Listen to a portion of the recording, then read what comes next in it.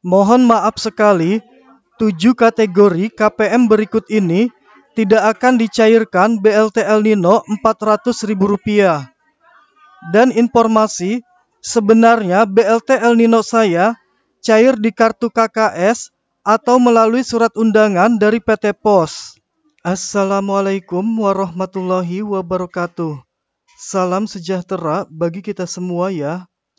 Baik tanpa berlama-lama di hari ini, saya akan memberikan informasi penting terbaru bagi para KPM PKH maupun BPNT.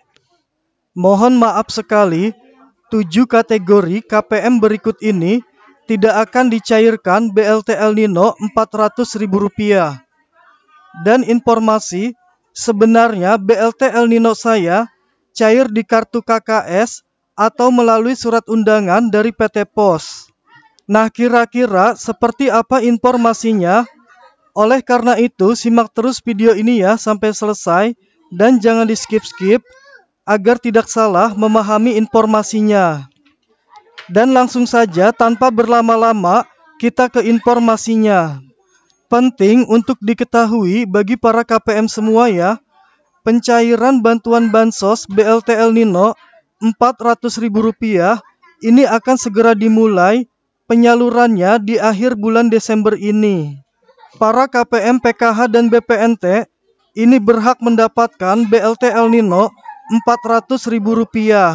Namun penting untuk diketahui, pencairan BLT El Nino ternyata tidak akan diberikan kepada beberapa KPM yang termasuk ke dalam golongan ataupun kategori berikut ini. Saya doakan semoga Anda tidak termasuk tujuh kelompok ataupun kategori KPM yang tidak bisa cair BLT El Nino-nya ini. Namun sebelum lanjut, bagi yang belum menekan tombol like-nya, silahkan ditekan tombol like-nya ya. Jika dirasa informasi ini bermanfaat. Baik langsung saja, ada tujuh golongan atau kelompok yang tidak akan mendapatkan bantuan BLT El Nino sebesar Rp400.000. Seperti sudah kita ketahui bersama ya, BLT El Nino ini merupakan salah satu bansos yang dicairkan oleh pemerintah di bulan Desember tahun 2023. Para keluarga penerima manfaat akan mendapatkan BLT El Nino Rp400.000 alokasi bulan November dan Desember tahun 2023. Nah, mengingat di bulan November kemarin tidak ada pencairan BLT El Nino sehingga diprediksi BLT El Nino akan segera dicairkan di beberapa hari yang akan datang ini. Dan perlu diketahui BLT El Nino ini sudah sangat ditunggu-tunggu pencairannya oleh para KPM, PKH, dan BPNT semua. Namun demikian, ternyata ada beberapa golongan ya yang tidak akan mendapatkan bantuan BLT El Nino ini.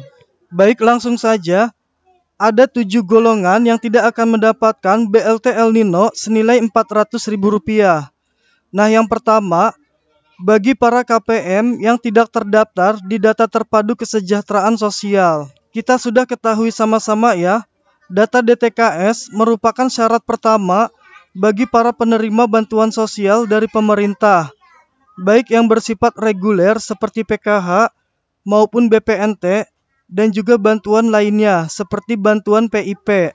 Kemudian yang kedua yaitu para KPM yang terdaftar sebagai pekerja penerima upah atau PPU dengan gaji di atas UMP. Nah, jika kalian terdaftar sebagai pekerja penerima upah dengan gaji di atas UMP atau UMK, maka kalian tidak berhak ya mendapatkan bantuan BLT El Nino sebesar Rp400.000. Selanjutnya, yang ketiga yaitu para KPM yang sudah sejahtera atau dianggap mampu oleh pemerintah daerah. Nah, jika kalian dianggap mampu oleh pemerintah daerah, maka kalian tidak berhak dan tidak akan dicairkan ya bantuan BLT El Nino-nya.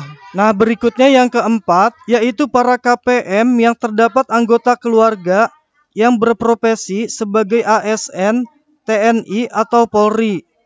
Nah, jika di dalam keluarga kalian ada ASN ataupun polisi atau TNI, maka kalian tidak berhak ya mendapatkan BLT El Nino senilai 400.000. Yang kelima, para KPM yang terdapat nomor NIK-nya itu ganda ataupun rancu di data Dapodik, ini tidak akan mendapatkan BLT El Nino senilai Rp400.000. Nah, pastikan nomor NIK kalian itu unik ya atau khusus untuk kalian saja.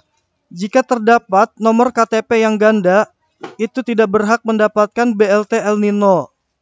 Kemudian yang keempat, yang tidak bisa cair BLT El Nino-nya bagi para keluarga penerima manfaat yang terdeteksi memiliki jabatan usaha yang terdaftar dalam database administrasi hukum umum. Kemudian yang ketujuh, KPM yang tidak akan mendapatkan BLT El Nino yaitu yang terdeteksi telah meninggal dunia. Nah, bagi para KPM yang sudah terdeteksi nomor NIK-nya itu dinyatakan meninggal dunia, ini tidak berhak ya mendapatkan BLT El Nino. Nah, kemudian kita ke informasi yang kedua ya. Sebenarnya BLT El Nino saya cair di kartu KKS atau melalui surat undangan dari PT Pos. Nah, jadi perlu diketahui bagi para KPM semua, para keluarga penerima manfaat yang lebih banyak dicairkan itu melalui kartu KKS merah putih ya. Ada sebanyak 15,4 juta KPM yang bantuan BLT El Nino-nya dicairkan melalui kartu KKS merah putih.